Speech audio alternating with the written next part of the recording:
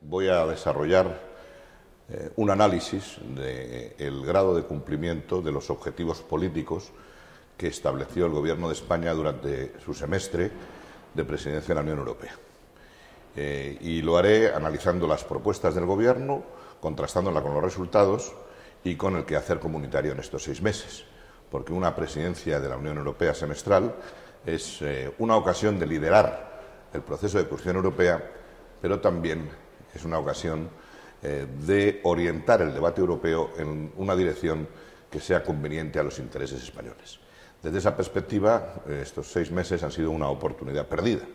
No se ha liderado el,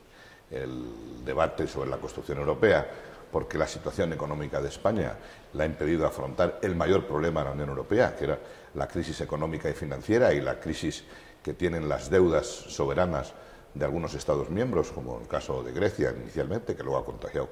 eh, España y Portugal, porque nuestra propia situación nos impedía, eh, siendo destinatarios de las propuestas, liderar las mismas. Y cuando se ha creado un fondo eh, de rescate de las economías que pudieran tener problemas para prevenir sus consecuencias, pues España no lo lideró, fueron Francia y Alemania, fueron Merkel y Sarkozy, y a España se le ha obligado durante este semestre a hacer las reformas estructurales y los ajustes de gasto público que el presidente se negaba a hacer, el presidente del Gobierno, Rodríguez Zapatero, eh, antes de comenzar la presidencia. Tanto hemos sido una presidencia que desde el punto de vista económico ha estado bajo tutela, bajo protectorado. Pero desde el punto de vista, que también es muy preocupante, de orientar el debate eh, europeo de las futuras reformas muy importantes, la reforma presupuestaria y la reforma de la política agraria común, en una dirección conveniente para España, también se ha perdido una gran oportunidad. No se ha establecido en el Consejo garantías de que se va a respetar al 100% el presupuesto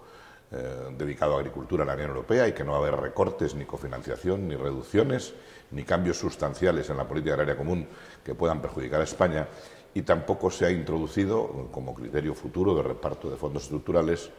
eh, otros elementos, como puede ser el nivel de paro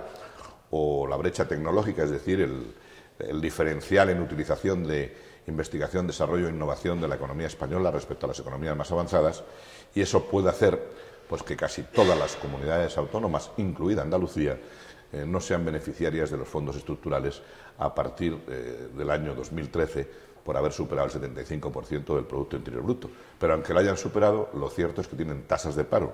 eh, enormemente superiores a las europeas y un retraso tecnológico que nos hace perder mucha competitividad. Por eso, con muchos temas, a pesar de que el Parlamento español, en una proposición no de ley aprobada por todos los grupos políticos, los fijó como objetivos fundamentales de la presidencia, no se han cumplido y desde esa perspectiva pues consideramos que la presidencia ha sido una oportunidad perdida. Algunos países de la Unión Europea tienen muchos problemas para colocar su deuda soberana eh, o la colocan con tipos de interés mucho más altos que Alemania. España tiene ahora el diferencial con el bono alemán, eh, más alto de su historia. Eso quiere decir que pagamos más intereses por nuestra deuda eh, que los alemanes y que por lo tanto nos cuesta mucho este tema. Tenemos más déficit público, tenemos más paro. la Unión Europea está solucionando sus problemas, pero el, problema español es más agudo, porque a la crisis financiera se viene una crisis de falta de competitividad en nuestra economía y un gobierno que ha tardado mucho en empezar a poner en marcha reformas estructurales y cuando las pone en marcha y reducción del gasto público